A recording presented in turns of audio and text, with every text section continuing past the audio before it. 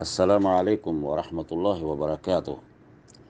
حج series سے متعلق ایک سوال یہ بھی آیا ہے کہ حجر اسود کو بوسہ دینا یا ہاتھ سے لمس کرنا، ٹچ کرنا یا اس کی طرف اشارہ کرنا، اس کی حکمت کیا ہے؟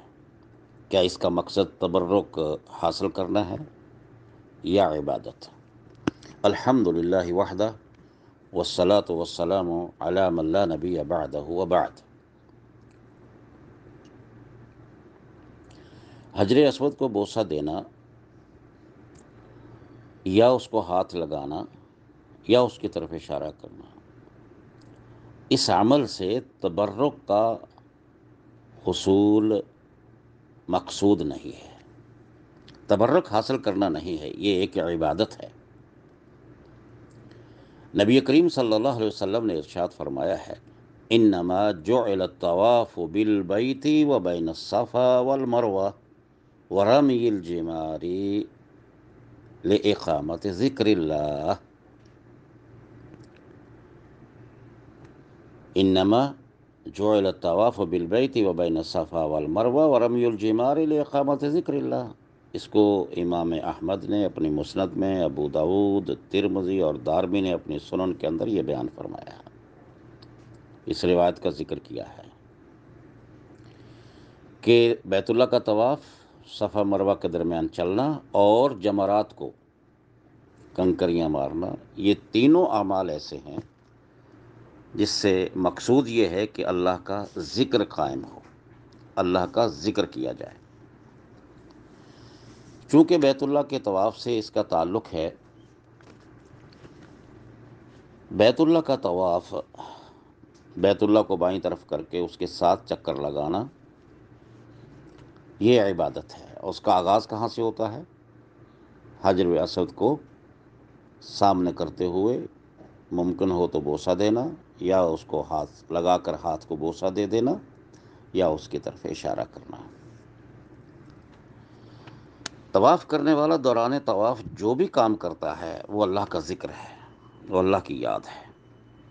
اس کی تمام حرکات و سکنات، اذکار و اوراد۔ اور اسی سلسلے میں حجر اسود کو بوسہ دینا، یہ عبادت ہے۔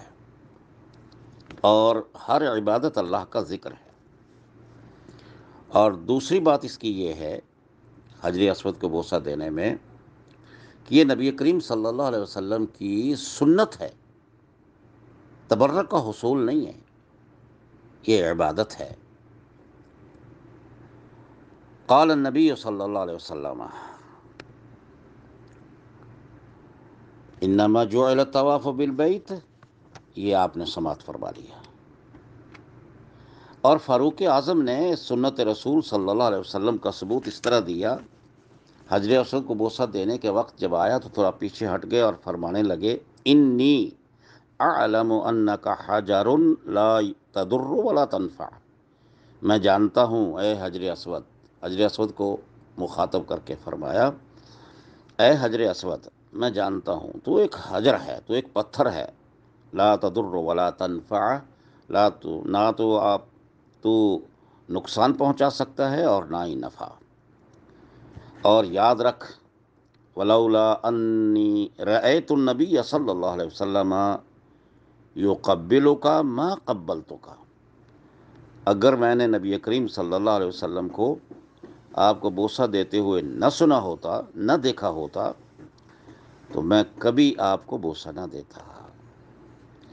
جہاں تک جاہل لوگوں کا یہ تعلق ہے کہ یہ وہ بات اس بات کے قائل ہیں اور اس سے دلیل لیتے ہیں کہ حجر اسود کو بوسہ دینا تبرک کا حصول ہے، لہٰذا ہم اسی طرح مزارات پر جاتے ہیں اور ان کی قبروں کا طواف کرنا بیت اللہ کے طواف کی طرح ہے اور ان کو بوسہ دینا ایسا ہی ہے جیسا کہ حجر اسود کو چومنا ہے اور اس کو بوسہ دینا ہے۔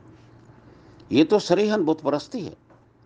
مومن صرف اللہ کے گھر کا طواف کرتا ہے اور وہ اس لیے کرتا ہے کہ اللہ کا حکم ہے۔ اور جو اللہ کا حکم ہے، اس کا بجا لانا عبادت ہے، اللہ رب العالمین کی۔ لہٰذا یہ ذکر ہے۔ دیکھیے، حکم الہی پہ عمل کرنا ہے۔ غیر اللہ کو سجدہ کرنا شرک ہے۔ لیکن آدم علیہ السلاۃ والسلام کے بارے میں فرشتوں کو کیا حکم دیا گیا کہ وہ سجدہ کریں؟ آدم تو غیر اللہ ہے، مخلوق ہے، وہ خالق نہیں ہے۔ لیکن وہ اللہ کا چونکہ حکم تھا، اس حکم کو بجا لانا ہی عبادت اور بندگی ہے۔ لہذا وہاں سجدہ نہ کرنا کفر ٹھہرا۔ آدم علیہ السلاۃ والسلام کو سجدہ کرنا عبادت ٹھہرا، اس لیے کہ وہ اللہ کا حکم ہے۔ طواف رکن حج ہے اور حج رکن اسلام ہے۔ لہٰذا اس رکن کا بجا لانا اللہ کے حکم سے ہے اور نبی صلی اللہ علیہ وسلم کی سنت کے عین مطابق ہے۔ لہٰذا تبرک کا حصول نہیں بلکہ عبادت مقصود ہے اور وہ بندگی ہے اللہ رب العالمین کی۔ حاضہ واللہ اعلی و اعلم۔ والسلام علیکم ورحمۃ اللہ وبرکاتہ۔